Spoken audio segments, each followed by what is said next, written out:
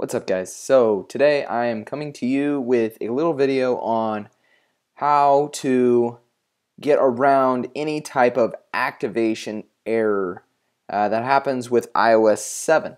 Uh, so if you can see here I am running iOS 7.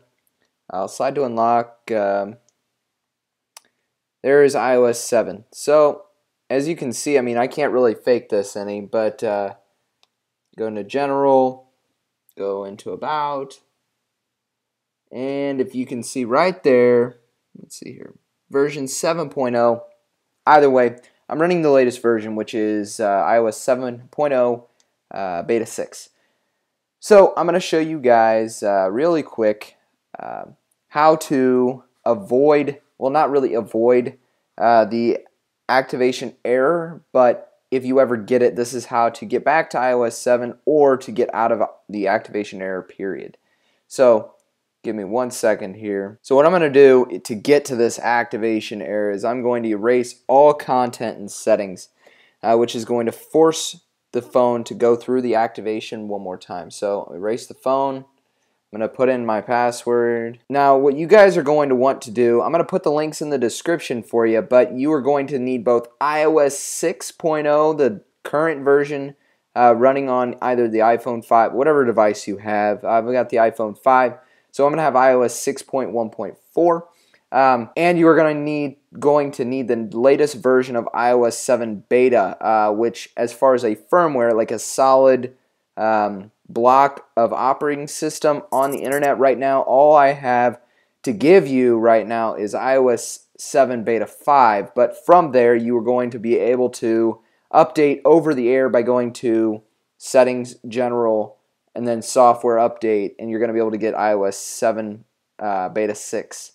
Anyway, here we go. We are almost done here. It's just deleting a bunch of my crap, my photos and text messages and things that I don't need I mean, I'll live. But uh, what you're going to want to do is uh, definitely have iOS 6, the latest version, ready. Uh, I'll put the links to those uh, firmwares in the description, as well as the latest version of iOS 7 beta, uh, which in this case is iOS 7 beta 5.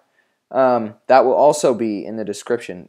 Now, honestly, uh, as of iOS 7 beta 6, I've seen no issues with the operating system, meaning uh, battery life is not too bad. Uh, everything seems to work. Nothing really crashes.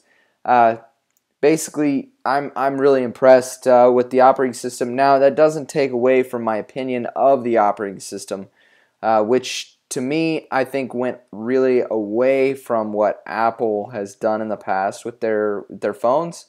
Um, so we will see, you know, as far as the next iPhone that comes out, we'll see if I like that or not. Um, it's going to be forced to run iOS 7, so we'll see if I continue getting iPhones. But anyway, uh, also, that's one good point here. Um, first, uh, I need you guys to really uh, start following my uh, YouTube channel because come day one of that iPhone 5S release, I'm going to have the device in hand.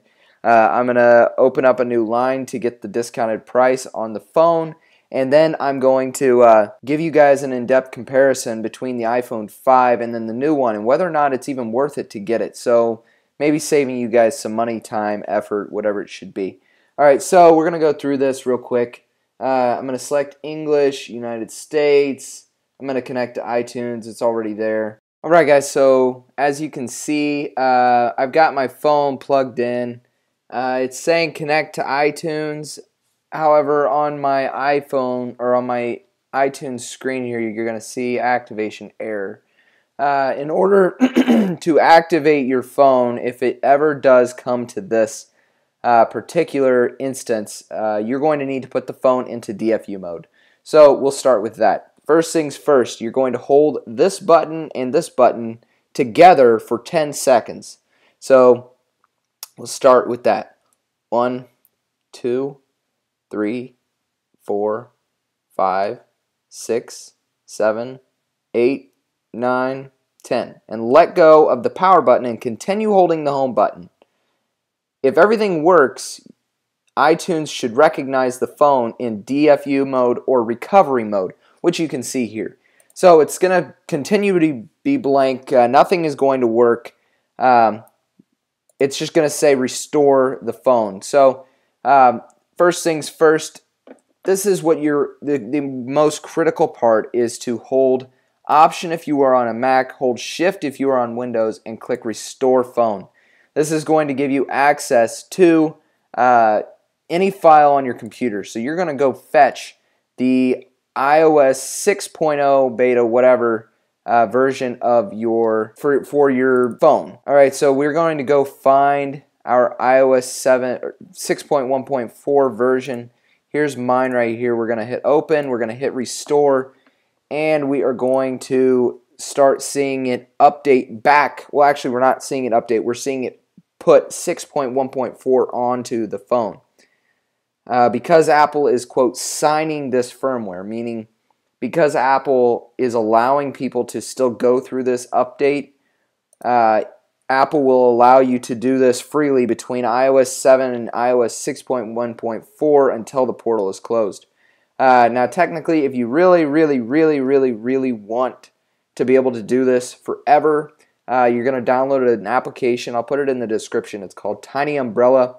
Basically, what it's going to do is it's going to save what are called SHSH blobs, uh, which allow you to basically skip the whole step of verifying with Apple. This is how people can get away with still being able to jailbreak their device. Even after they've updated, they can go back, forth, whatever it should be.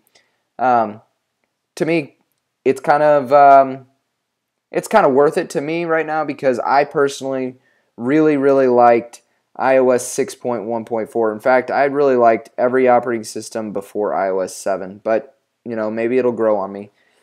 Anyway, if you guys can see here, um, iOS 6.1.4 is being loaded onto my iPhone. As soon as it's done, um, I'll show you guys how to get to iOS 7.0 Beta 5. You can see right here, it says uh, 6.1.4. Anyway, uh, sweet. So I got the phone down to 6.1.4.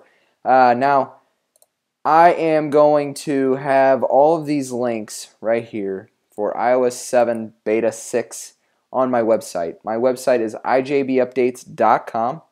Oh man, that is bright. But anyway, uh, my website is ijbupdates.com, and if uh, you need to download that, it'll be right here in all of these drop downs.